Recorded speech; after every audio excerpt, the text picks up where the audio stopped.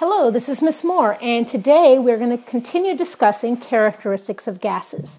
This is Characteristics of Gases Part 2.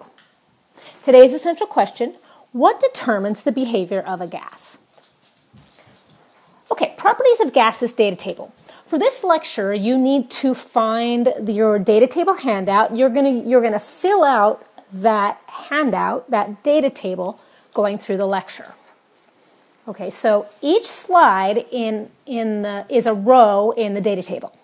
Okay, so in, in each slide you'll have an A, B, or C. We'll have it, all those informations, part A, part B, part C. Part A goes for the observed gas behavior. Part B goes for the property of the gas. Part C goes to kinetic molecular explanation. Um, once we move to a new slide, move to a new row on your data table. Okay, so here we go. Okay, start with the first row of your data table. And our first observed gas behavior is that gases can flow through pipes from one container to another.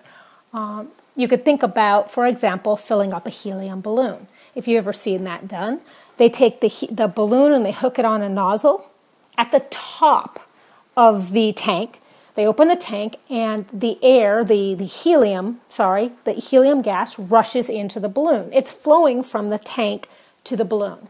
Now think, if there was water in there, and they were to try and you were to try to fill up a balloon with water from a tank, if you open the, the handle, the water wouldn't come up up high and across to the balloon. You would need to have the you would need to have the pipe to hook the balloon to on the bottom, right? And that's because gases take up all of the space they possibly can. So there's ga- part of that helium gas is all the way at the top of the tank. Okay, so the property of the gas that explains that behavior that gases can flow through pipes is that gases are fluids. That comes up from the previous lecture. Okay, and then the kinetic molecular explanation is why, if we talk about kinetic, the movement of molecules, kinetic molecular explanation, the molecule movement. Um, why do gases flow through pipes? Because gas particles are not held in rigid positions like particles of a solid or a liquid. Okay, on to the second big row in your data table. Um, the observed gas behavior here is that the mass or the weight of a gas is much lower than the same volume, the same size of a solid or liquid. Um, the property of a ga- gas that explains this is that gases are much less dense than solids or liquids. Why? Because the distance between gas particles is very large compared with the distance between particles of a solid or liquid. So gases are mostly empty space. So they don't weigh very much. Empty space doesn't weigh much. All right, on to the third row in your data table. Um, our observed gas behavior is that gases can be squeezed into a smaller volume. The property of the gas we talked about in the previous lecture to explain this is that gases are compressible kinetic, kinetic molecular explanation to this. Molecular movement Y, it's pretty much the same as, as the one before. The distance between gas particles is very large. Thus, there's a lot of empty space, so we can smush them, smush them, smush them, smush them together um, until they're they're touching. Once you get to a, once you squeeze them together so close, they begin to look like a liquid. Um, that's what liquid nitrogen is, for example, or, or liquid oxygen. It's, it's oxygen gas that had been compressed and so much, been squeezed together so closely that the molecules are touching, and so they look like a liquid. However, they're not hooked together, so as soon as you give them more space, they spread apart and look like a gas again. Okay, the fourth row of your data table um, observed gas behavior. The air in a tire um, inflates the tire all the way around.